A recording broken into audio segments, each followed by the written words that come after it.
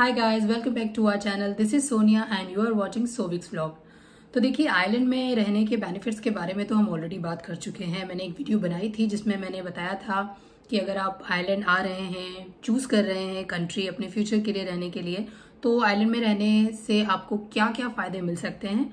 तो आज मैं ऐसे ही एक बेनिफिट के बारे में बात करने वाली हूँ। देखिए आइलैंड में अगर आप रहते हैं तो आपको एक बहुत ही बड़ा बेनिफिट है जो मिलता है और वो बेनिफिट है चाइल्ड बेनिफिट जी हाँ आपको आपके पर चाइल्ड यानी कि आपके जितने भी बच्चे हैं तो गवर्नमेंट जो है पर चाइल्ड आपको कुछ अमाउंट देती है। अब ये आता है कि क्या गवर्नमेंट ये अमाउंट सबको देती है? क्या इसके लिए ज़रूरी है कि आप आइलैंड के सिटीजन हो? या फिर कुछ और कंडीशंस हैं जो आपको फुलफिल करनी पड़े? तो बने रहिए आज की वीडियो में और मैं आपको बताऊँगी कि चाइल्ड बेनिफिट आपको किन किन कंडीशंस में मिल सकता है, कितना अमाउंट आपको पर चाइल्ड मिलेगा। अगर आपके एक से ज़्यादा बच्चे हैं तो क्या आपको वो अमाउंट मिलेगा? तो आज बात करेंगे हम डिटेल में चाइल्ड बेनिफिट के बारे में कि आपको चाइल्ड बेनिफिट किन किन कंडीशंस में मिलता है, क्या आप उसके लिए एलिजिबल हैं या नहीं है और क्या ऐसी कंडीशंस हैं जो आपको फुलफिल करनी पड़ती हैं चाइल्ड बेनिफिट को लेने के लिए। तो बने रहिए आज की वीडियो में और देखते रहिए आज की वीडियो को। तो सबसे पहले हम बात करते हैं कि वो क्या रूल्स हैं जो चाइल्ड बेनिफिट के लिए अप्लीकेबल हैं। आपको किन किन कंडीशंस में चाइल्ड बेनिफिट मिलेगा? तो देखिए, सबसे पहली चीज़ तो यह है कि आपको आइलैंड में होना चाहिए। यानी कि अगर आप आइलैंड में हैं तो आपको चाइल्ड बेनिफिट मिलेगा। सेकेंड चीज़ आपकी इनकम इरेस्पेक्टिव कितनी भी हो, जैसे कि आप जानते हैं ना कि अगर आपकी इनकम ज़्यादा होती है तो बहुत से बेनिफिट्स आपको नहीं मिलते हैं। लेकिन चाइल्ड बेनिफिट के केस में ऐसा नहीं है। आपकी इनकम चाहे कितनी भी हो एज ए फैमिली इनकम आप कितना भी अर्न करते हो चाइल्ड बेनिफिट फॉर्म अगर आप सबमिट कर देते हैं तो आपके जितने भी चाइल्ड हैं पर चाइल्ड आपको वो बेनिफिट मिलेगा। तो नॉर्मल कंडीशंस में चाइल्ड बेनिफिट जो है वो पेड होता है for the child under 16 child benefit आपको आपके बच्चे के लिए 16 ईयर्स 17 ईयर्स में भी मिलता है। अगर आपका जो बेबी है, आपका जो चाइल्ड है, वो कंटिन्यूस अपनी एजुकेशन में है, किसी ट्रेनिंग प्रोग्राम में है तो तब भी आप एलिजिबल होते हैं चाइल्ड बेनिफिट के लिए। अब हम बात करते हैं कि आपको चाइल्ड बेनिफिट जो है, वो अप्लाई कब करना है, कैसे करना है। तो देखिए, आपका बेबी का जब बर्थ होता है तो बेबी के बर्थ के विद इन ट्वेल्व मंथ्स आपको चाइल्ड बेनिफिट अप्लाई करना होता है। आपको फॉर्म भर करके डिपार्टमेंट को सबमिट करना होता है। सेकंड केस ये कि आपका बेबी जो है वो आइलैंड में बॉर्न नहीं हुआ है और आप एज ए फैमिली बाद में आइलैंड शिफ्ट होते हैं। तो उस केस में भी आप जैसे ही आइलैंड शिफ्ट होते हैं, आप ट्राई कीजिए कि आप जल्दी से जल्दी वो जो फॉर्म है, वो भर करके सबमिट कर दें। हमारे केस में सोविक आइलैंड बॉर्न नहीं था, लेकिन निविका आइलैंड में बॉर्न हुई थी। तो हमने दोनों ही बेबीज के लिए जो है वो एप्लीकेशन फॉर्म सबमिट किया था। और आपके जो बच्चे हैं आपका बेबी जो है चाइल्ड बेनिफिट के लिए एलिजिबल हो जाता है the day he and she landed to island तो जिस दिन आप लोग आइलैंड में आते हैं आप उसी दिन से आपका जो बच्चा है वो चाइल्ड बेनिफिट के लिए एलिजिबल हो जाता है। हमारे केस में प्रोसेसिंग में थोड़ा सा टाइम लगा था। हमने फॉर्म भरकर भेजा और थोड़ा सा डिले होता चला गया प्रोसेसिंग क्योंकि वो कोविड का टाइम था एक्चुअली लेकिन फिर भी आ, हमें तीन चार महीने के बाद हमारी एप्लीकेशन जो है वो फाइनली प्रोसेस हुई थी। एंड हमें वो थ्री फोर मंथ्स का जो अमाउंट था, वो सारा अमाउंट एक साथ ही मिल गया था। अब आपको मैं बताती हूँ कि आपको चाइल्ड बेनिफिट जो है वो अप्लाई कैसे करना है। चाइल्ड बेनिफिट फॉर्म को ढूंढना बहुत ईजी है। अगर आप वेबसाइट नहीं भी जानते हैं तो सिंपली आप गूगल पर टाइप कर दीजिए चाइल्ड बेनिफिट आयरलैंड तो देखिए, ये आपको बहुत सारी वेबसाइट्स खोल कर देगा और इन्फॉर्मेशन भी देगा। तो यहाँ आप नीचे देख रहे हैं सेकंड नंबर पर है W W W dot G O V dot I E तो यही वो वेबसाइट है जहाँ पर आपको इससे रिलेटेड जो है सारी इन्फॉर्मेशन मिलेगी। सारे फॉर्म्स भी आपको इस वेबसाइट के अंदर मिल जाएँगे।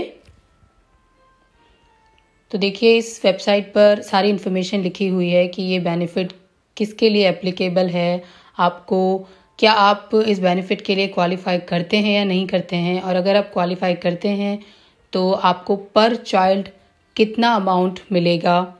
और यहाँ पर ये देखिए, नीचे सारे फॉर्म्स भी लिखे हुए हैं। एक आप देख रहे हैं चाइल्ड बेनिफिट फॉर्म वन है और एक है चाइल्ड बेनिफिट फॉर्म टू तो बेसिकली जो चाइल्ड बेनिफिट फॉर्म टू है, वो उन बच्चों के लिए है जिनकी एज सोलह या सत्रह साल की है।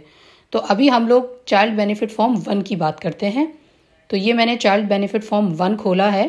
तो इस फॉर्म के अंदर भी देखिए, सारी इन्फॉर्मेशन है। अगर आपको कोई इन्फॉर्मेशन बाहर से नहीं भी मिलती है तो इनिशियल पेजेस में भी इन्होंने सारी इन्फॉर्मेशन लिखी हुई है कि आप क्वालिफाई करते हैं या नहीं करते हैं, आपको किस तरह से अप्लाई करना है, और इन्होंने एड्रेस भी दिया हुआ है कि किस एड्रेस पर आपको ये फॉर्म फिल करने के बाद सेंड करना है, और ये एक उन्होंने सैंपल फॉर्म दे रखा है कि किस तरह से आपको ये फॉर्म भरना है।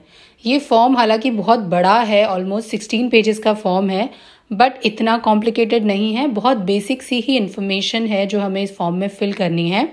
तो ये देखिए, आप इसमें सारी इन्फॉर्मेशन आपसे रिलेटेड है, आपके बेबी से रिलेटेड है और आपके पार्टनर से रिलेटेड है। सब जनरल इन्फॉर्मेशन है आपकी, आपका नेम आपका एड्रेस आपके बेबी का नेम बेबी का जो डेट ऑफ़ बर्थ है वो, और आपकी एम्प्लॉयमेंट डिटेल्स आपको भरनी है। तो ज़्यादा कॉम्प्लिकेटेड इन्फॉर्मेशंस नहीं है। पीपीएस नंबर भी है जो यहाँ पर आपको भरना होता है। आप जानते हैं कि अगर आप आइलैंड में हैं तो आपको पीपीएस नंबर जो है वो बहुत इंपॉर्टेंट है। सब जगह हमें वो नंबर फिल करना ही पड़ता है।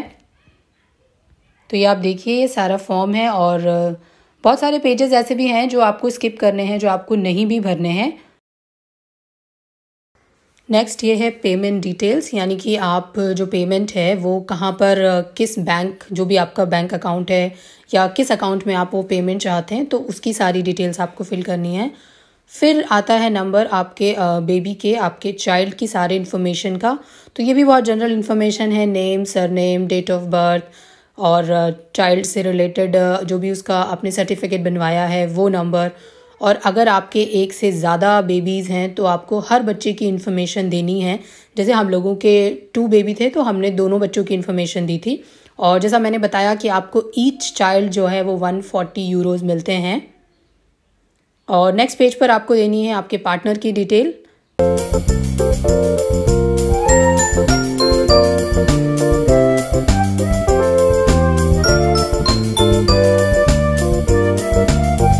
और अब इस पेज पे दी हुई है चेकलिस्ट जिसमें क्लियरली मेंशन है कि आपको कौन कौन से डॉक्यूमेंट एप्लीकेशन फॉर्म के साथ में लगाने हैं।